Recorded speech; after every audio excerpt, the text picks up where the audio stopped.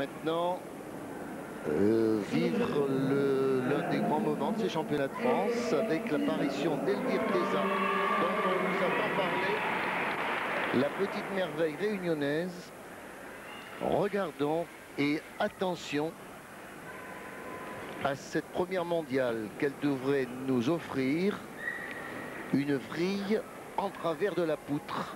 Ça, nous allons être vigilants pour le mieux l'apprécier.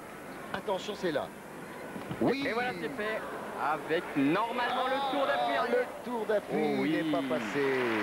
Mais quelle belle rattrape. Elle ne s'est pas laissée tomber. Vous avez vu comme elle s'est accrochée.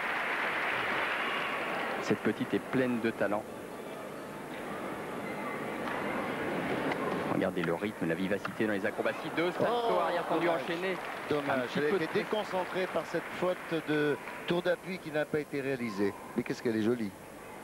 Et la Réunion nous apporte de jolies fleurs et pour nous en tout cas c'est une véritable pépinière de jeunes gymnastes qui alimentent nos centres particulièrement d'Antibes et de Marseille. Avec notre plus grand plaisir. Elvire Teza qui sera vraisemblablement en âge euh, de disputer les Jeux Olympiques d'Atlanta. Hein oui. Hein?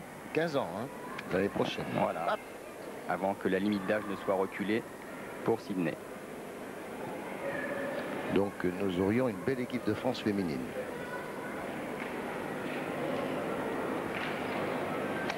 Dommage, dommage. Sortie pour Elvire Teza. Et double. Ah mais le public euh, a senti qu'il s'était passé quelque chose. Elle est déçue la petite. Regardez la première mondiale. Une vrille.